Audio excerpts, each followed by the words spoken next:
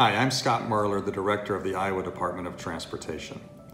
At the DOT, our mission is getting you there safely, efficiently, and conveniently. We exist to keep people safe and to make their lives better through transportation. That's why we're excited about the opening of the 3580 to 141 flyover.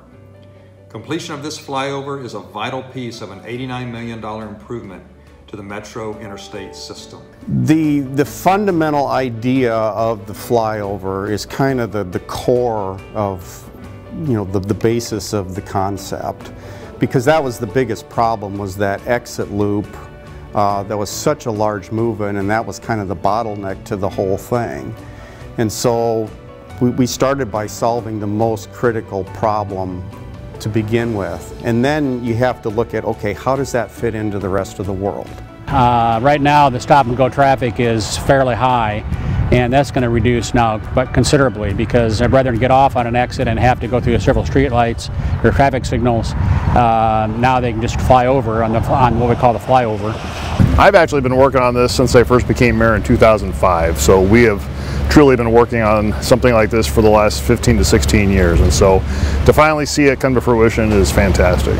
This will absolutely be a safer alternative from what we had before. Uh, it'll provide a, provide a safe flyover maneuver uh, onto 141 from the interstate uh, and to then dedicate the, the local traffic uh, into the area uh, to the businesses in the immediate area.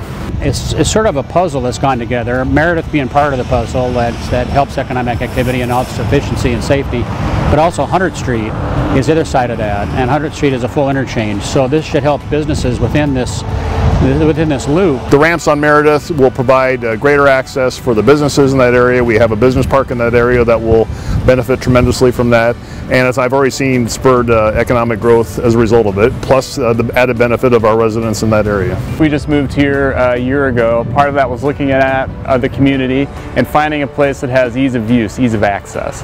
And I really think from our customers and from our employers and all our business partners, uh, easy access is, is, is part of the success story. You can kind of see the evolution of it through each step that involves the community and, and various clients and, and stakeholders.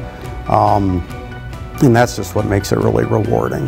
Had great coordination among Federal Highway, uh, the Iowa DOT, uh, our neighbors uh, around us, uh, as well as Polk County. And so it's truly been a team effort. That's the only way we can get things done. And everybody has contributed to this. And uh, it's, it's been a great final team effort to get it all done.